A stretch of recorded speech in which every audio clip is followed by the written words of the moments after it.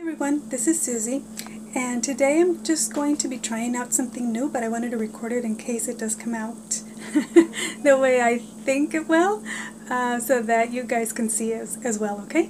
So I usually, if you've seen my videos, you know that I don't refry my beans with oil anymore.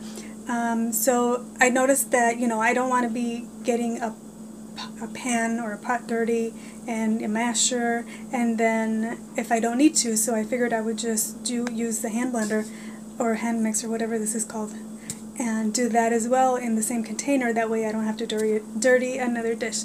So let's get started. Okay so the liquid in your beans would have to be as much as you want it to see if you want it to them if you want them to be more runny or thicker then that would depend on it. So this is the, the liquid that my beans have okay? So let's see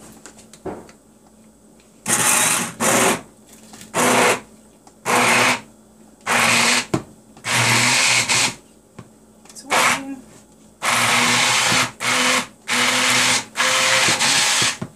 you see and then you can just leave them as blended as you want. If you want them just a little mash or if you want them super smooth. Oh my goodness. That was it.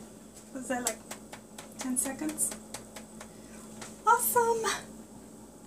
It worked, you guys. Okay, so this is how thick they are. This is usually the thickness that I like them. And that way you just blend them in your same container that this is like the container that I freeze mine in like I showed you in my pinto bean tutorial.